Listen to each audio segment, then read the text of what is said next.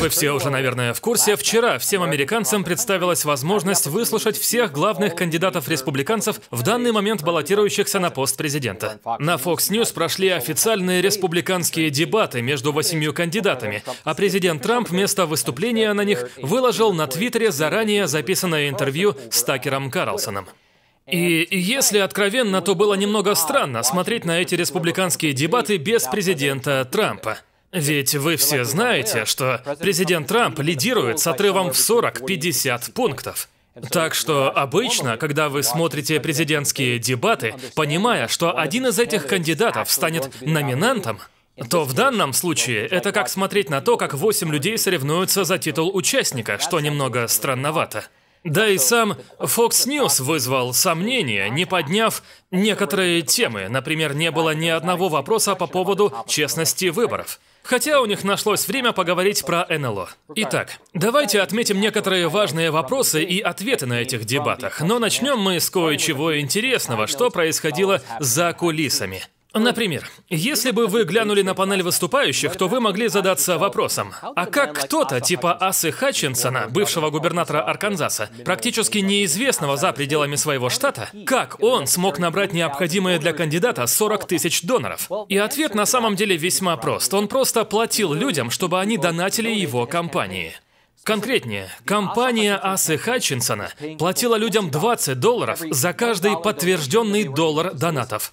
Вот наш анал Пульс, объясняющий всю схему. Цитата. Аса Хатчинсон набрал необходимые для дебатов 40 тысяч доноров, выплачивая людям 20 долларов за каждый подтвержденный доллар донатов. Эта схема, называемая текстинг за плату, была придумана Остином Барбаром, который руководит компанией Хатчинсона за сильную и свободную Америку. 18-летний сын Барбора смог в кавычках найти 100 доноров, что должно было принести ему 2000 долларов. Что весьма неплохо. Далее, уже за кулисами самих дебатов возникла любопытная ситуация, когда организаторы мероприятия не пускали на него определенных людей, которые были связаны с политиками, идущими не от истеблишмента. Например, по сообщению NBC News, эта памятка была оставлена на столе охраны рядом с рамкой металлоискателя. И как вы видите, наверху под словами «увидишь, скажи» расположены фотографии людей, которые не допущены на мероприятие. Это Джейсон Миллер, Джастин Капарелли и Дэнни Тиса. Все они из компании Трампа, и всем им запрещено быть на дебатах. Также не допущены все связанные с компанией Вивека, а также все из компании Ларри Элдера. Более того, оказалось, что кроме имен, указанных в этом списке, вход также был запрещен всем из команды Трампа. Например, вот короткий видеоролик, показывающий, как охрана Fox News не дает Дональду Трампу-младшему пройти в спин-рум. Прямо сейчас они пытаются остановить людей, которые на самом деле хотят поговорить о политике. Что ж, Это не это по-американски. не должно нас удивлять, но ситуация именно такая. Хотя мне и было сказано, что мне дадут пройти. Сначала они сказали, что дадут пройти, и вот мы здесь, а А кто говорит, что вам нельзя пройти? Вот, прямо сейчас. Фоксом Фокс не сказал. дает нам пройти в спинрум. А он разве на Фокс работает? узнать. Они говорят ему, он здесь работает охранником, и они говорят ему, что мне запрещен вход туда. И, кстати, еще кое-что мне показалось весьма забавным, что хоть на дебатах, где было 4000 человек и продавались разнообразные напитки, Бадлайта среди них не было. Итак, это все про события, происходившие за кулисами, а на самой сцене были вполне себе типичные современные политические дебаты, где политики там говорят без умолку, и, что поразительно, тем не менее, не говорят ни о чем. Но пару моментов там все же было. В начале дебатов кандидаты накинулись на мистера Вивека Рамасвами за эти его слова. Итак, давайте мы, как республиканцы, скажем честно, я единственный некупленный человек на этой сцене, так что я могу сказать следующее. Изменение климата — это обман. Климатическая повестка — это мошенничество, и мы должны объявить о своей независимости от нее.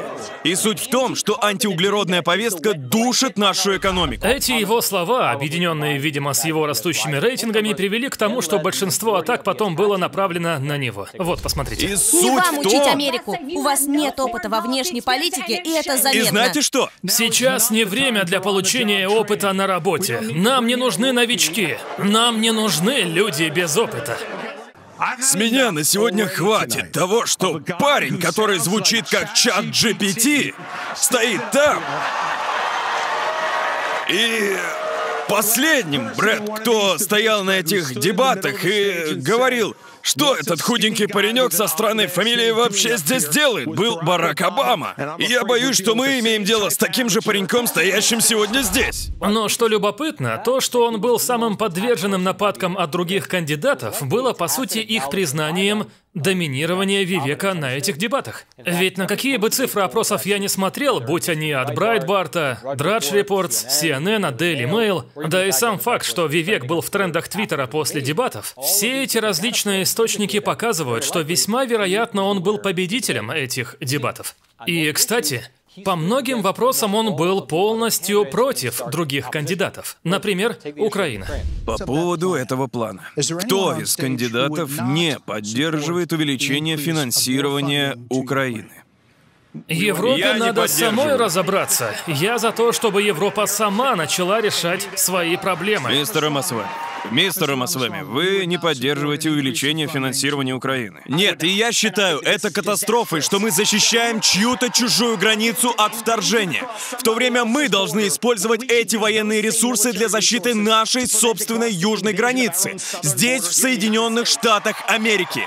Мы толкаем Россию дальше в лапы Китая, а российско-китайский альянс — это колоссальная угроза для нас. И я нахожу оскорбительным, что на этой сцене у нас есть профессиональные политики, которые совершали паломничество в Киев к их папе Зеленскому. Но для народа Мауи и юга Чикаго или Кензингтона Окей, они окей, такого окей, не окей, делали. ладно, хватит. Я считаю, что мы должны ставить интересы американцев превыше говорит всего, защищать свои границы, а не чьи-то еще. И суть в том, что таким образом мы покажем свою Он силу, сказал, сделав что- Америку сильной. Более того, в то время как другие кандидаты показывали антипатию к президенту Трампу или даже напрямую выступали против него, посмотрите на позицию Вивека и реакцию на нее зрителей. По моему мнению, президент Трамп был лучшим президентом в 21 веке, и это факт.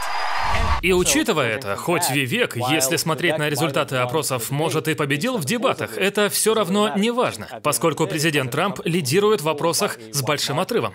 И понимая это, самый замечательный момент в этих дебатах был, по крайней мере, по моему мнению, это когда модераторы попросили всех кандидатов поднять руку Если бывший президент Трамп будет осужден судом, то будете ли вы все еще его поддерживать как кандидата от партии? Если да, то, пожалуйста, поднимите руку.